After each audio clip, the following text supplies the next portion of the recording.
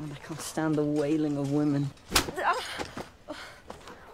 One word and I hit you again. Man muss die kleinen Dinge im Leben genießen, wenn zum Beispiel verhasste Charaktere schreckliche Tode erleiden.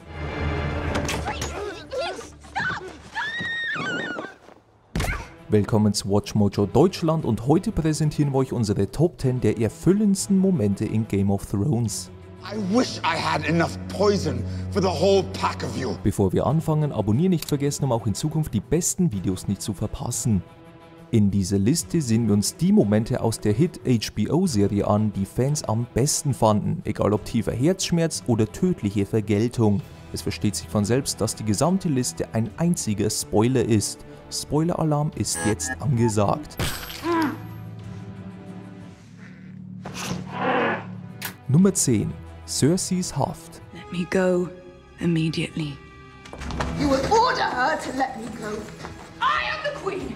Von Anfang an zeigte uns Cersei Lannister, dass sie eine Meisterin im Spiel der Throne war. Sie war manipulativ und nichts konnte sie aufhalten, als es darum ging, ihre Kinder zu schützen und ihre Feinde zu zerstören.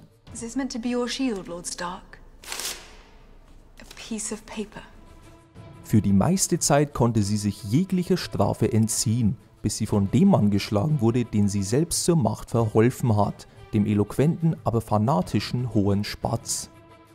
What will we find when we strip away your finery? Zu sehen, wie sie weggeschleift wurde, wie die meisten ihrer Opfer, war geradezu erlösend. Sicher, sie rächte sich und tötete alle mit Seefeuer und folterte Septa Unella, aber wir werden es nie vergessen, als sie selbst ihre verdiente Strafe erhielt.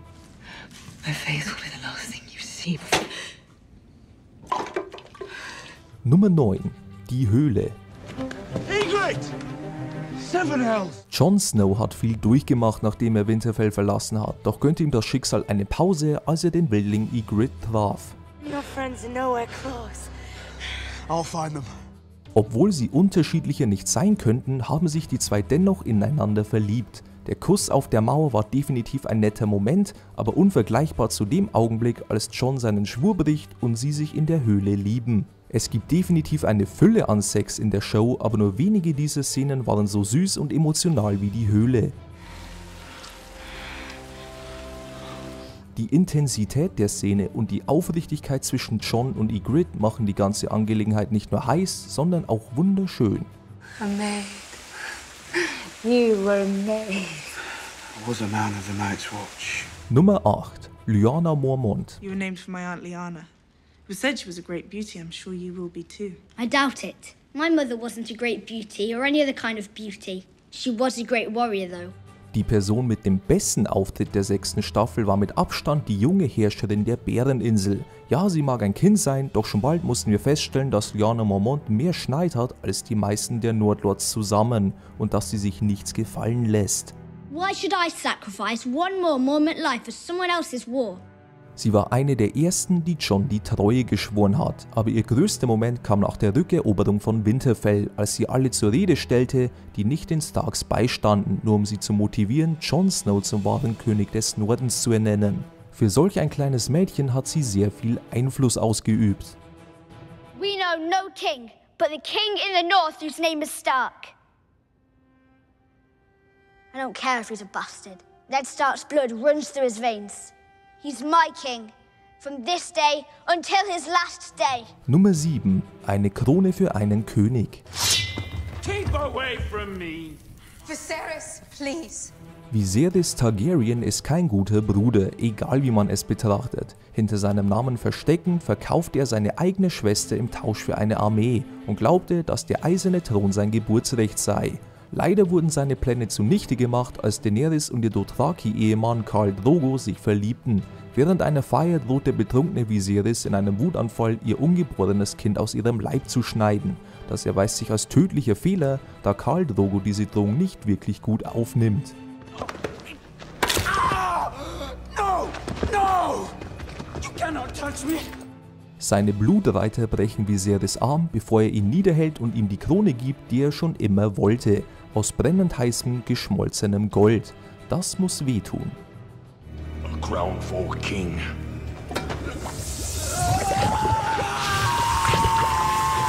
Nummer 6. Vater und Sohn. Tywin Lannister war beides, ein rücksichtsloser Tyrann und knallhart. Wir respektieren ihn natürlich für seine Befehlsgewalt und seine unerbittliche Hingabe an das Erbe seines Hauses. Hold fast! Hold fast! What are you doing? We need to attack them. Hold fast! Die Art, wie er seinen Sohn Tyrion behandelte, war allerdings etwas, das die Fans einfach nicht verzeihen konnten. Sein ganzes Leben gedemütigt und verbal missbraucht, wurde Tyrions Grenze erreicht, als er begriff, dass sein Vater ihn nicht nur zum Tode verurteilt hatte, sondern auch die Liebe seines Lebens Shay gegen ihn wendete und mit ihr schlief.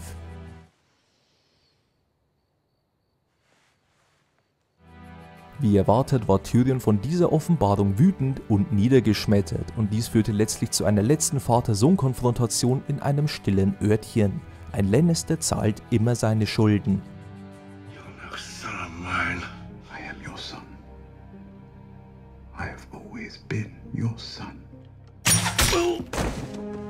Nummer 5.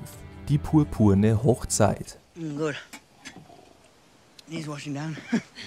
Joffrey Baratheon wird in die Geschichte eingehen als einer der am meisten gehassten Schurken des Fernsehens. Seine sadistische Natur, Mordlust, Feigheit und der Missbrauch von Tyrion und Sansa machen ihn trotz seiner Jugend zu einem absolut widerwärtigen König.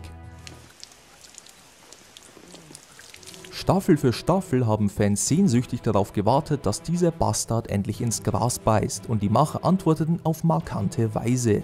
Am Tag seiner Hochzeit, während einer seiner normalen Tiraden, erliegt der Kindkönig einem Gift, das als der Würger bekannt ist. Obwohl er einen härteren Tod verdiente, war der langsame Erstickungstod des Tyrannen, welcher seinen Körper als eine groteske Schale übrig ließ, rundum befriedigend.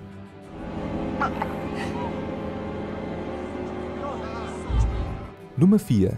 Ende der Sklavenmeister. Zadrizes buzdaris kosdaur.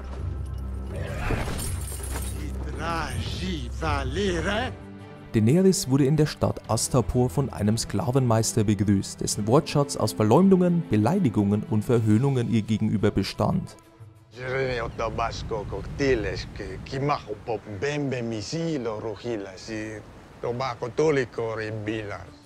Wir hatten alle den Eindruck, dass Danny keine Ahnung hatte, wovon er sprach und dass der Tausch eines ihrer Drachen auch für eine Armee wie die Unbefleckten ein großer Fehler war.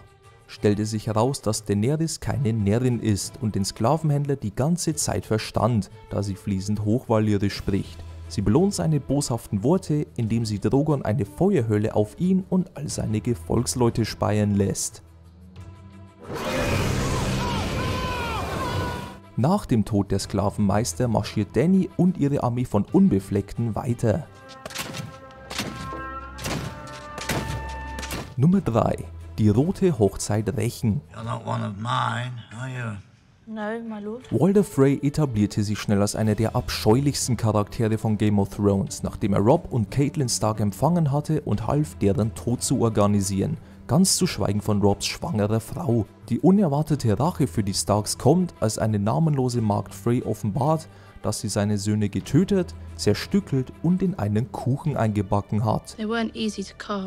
Dieser Enthüllung folgte sogleich eine weitere, als sie sich als Arya Stark zu erkennen gibt, die anschließend ihre Mutter und ihren Bruder rächt, indem sie Frey die Kehle aufschlitzt. Freys Tod und das Wiedererlangen ihres Namens mag lobenswert sein, aber sein Tod war besonders befriedigend.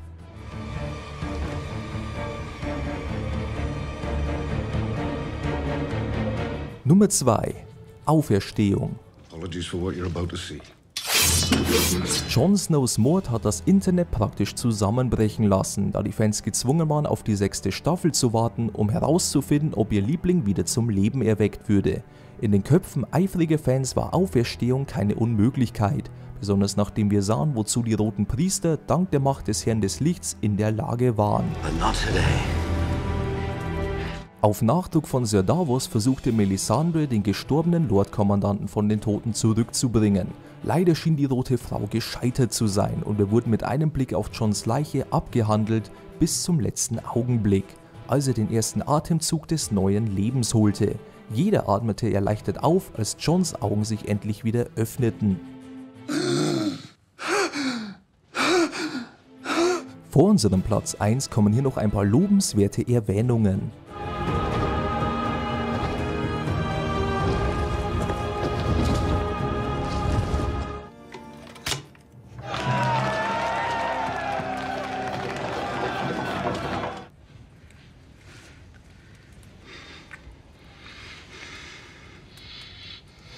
Nummer 1. Der Tod von Ramsay Bolton. Like. Man muss Ramsay Anerkennung zollen. Er hatte harte Rivalen auf dem Weg zum sadistischsten Antagonisten in Westeros. Trotzdem müssen wir diese Ehre dem Bastard verleihen. Er quält und kastriert Theon, missbraucht Sansa, verfüttert seine Stiefmutter und den neugeborenen Bruder den Hunden. Die Liste seiner begangenen Gewalttaten geht weiter und weiter. John dabei zu beobachten, wie er sein Gesicht blutig schlägt, ist ein Grund zum Feiern. Genau wie die Rückeroberung Winterfells, aber Ramsays ultimatives Schicksal ist das Sahnehäubchen.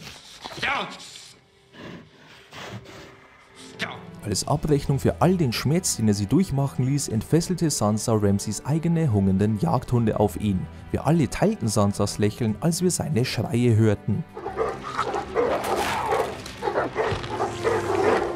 Was hältst du von der Liste? Für noch mehr Top 10 Videos abonniere einfach Watch Mojo Deutschland.